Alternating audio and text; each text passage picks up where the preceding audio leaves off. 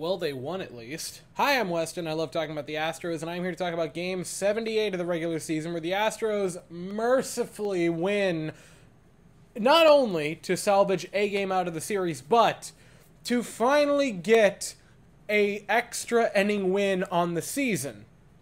It is late June, folks, but that is not that we're not gonna we're gonna be happy that they won, or at least try to be until we get to a certain ending of this game, and then we're gonna be not that happy. The game's story arc is simple. Starts off bad. Mookie Betts with a leadoff home run. He got robbed of one yesterday. This time he was not. He puts him up one nothing, and you think, oh boy, here it comes again.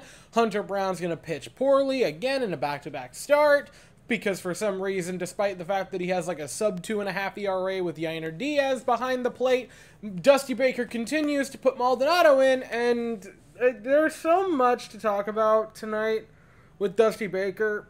The Maldonado thing still gets me. He has a sub 5.5 or 550 OPS. He went 0 for again tonight. He was allowed to hit in the ninth inning with two outs I, I don't understand how you can continue to trot out Martin Maldonado, and it's not even at a point now where you can say, "Oh, well, he calls great game." His game calling has been highly suspect this year. The defensive numbers that were just barely making him hang on are completely gone out the window. And while I'm picking the scabs of you know the lineup, Altuve and Diaz weren't in this game, and they weren't even brought in as pinch hitters. And I just don't understand the reasoning. This isn't the dog days. It's not August. It's not September resting up for the play. You need to win games. Like, you legitimately need to win games. You need to feel good about yourselves, and you're just not. And I don't feel the lineup on a nightly basis is giving them that chance to go out and consistently win. I, the lineup decisions have been horrific. You finally get McCormick back in after he was benched for what, back to back games?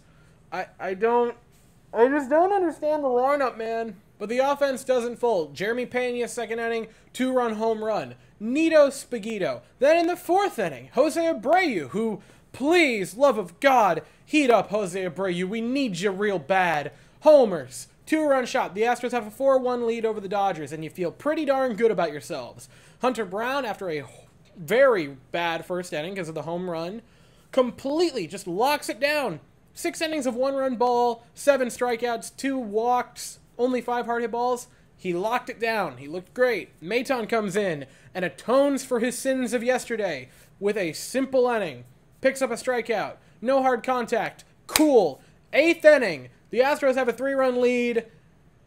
And in comes Rafael Montero. Listen, last game is not on Dusty Baker. You bring in Maton, and he gives up a two-run shot. Who could see that coming? You bring in Abreu, and he gives up a two-run shot. Who could see that coming? Your two best relievers, very, very, very, very rarely will both give up multi-run home runs in back-to-back innings late in the game. That doesn't happen. Now, bringing in Rafael Montero in this situation was just bad. It, it was just bad. They brought him into a game not long ago with a three-run lead, and he almost choked it up. I am. This is the most brutal thing I have said on this channel. And I'm always very careful with how I phrase things because I understand that if I were to stand in a batter's box against Rafael Montero and he were to throw me a hundred pitches, I wouldn't make contact with any of them. And if I did, it would have just been sheer luck because I closed my eyes and tried to swing. So I say that to make sure you understand. I'm not just some angry uncle who's seven beers into a night screaming that every player sucks.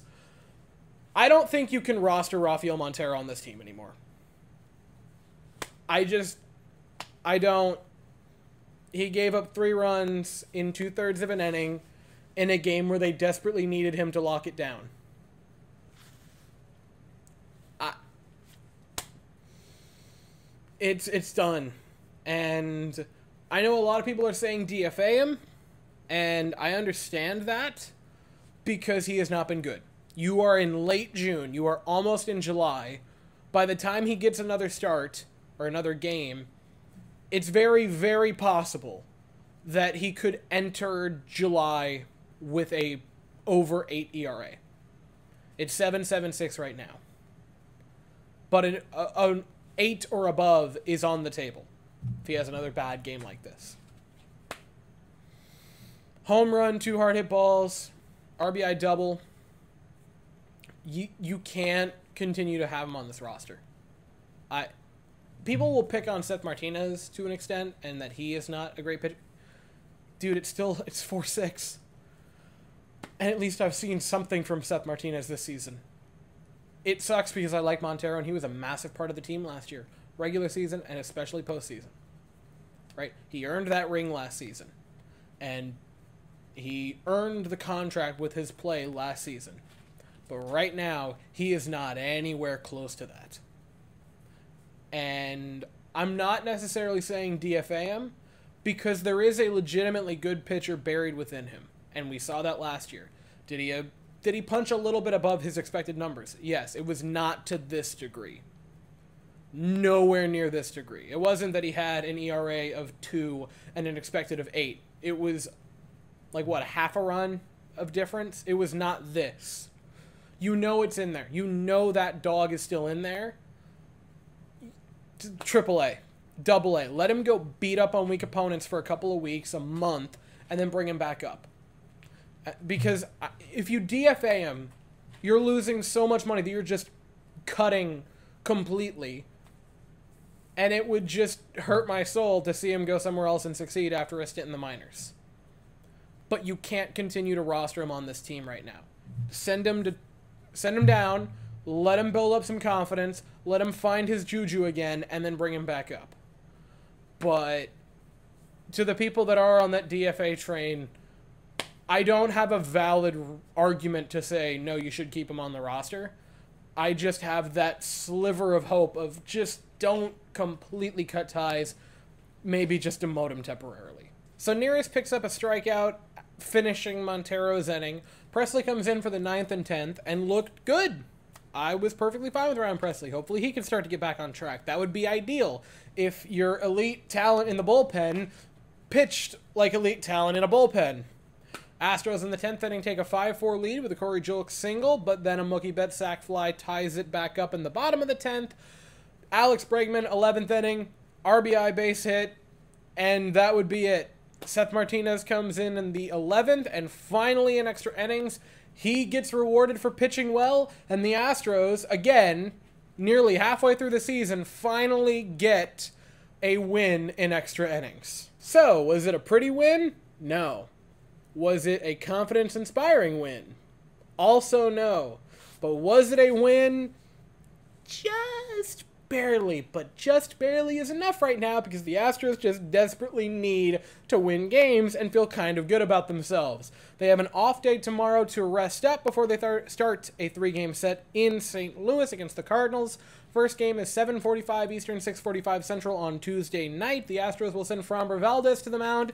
The Cardinals have not announced their starter yet, but I'll be here afterwards to talk about it. As for right now, that is all I have to say. If you enjoyed the video, please consider to like and subscribe. Thank you also very much for watching, and as always, Ghost Rose.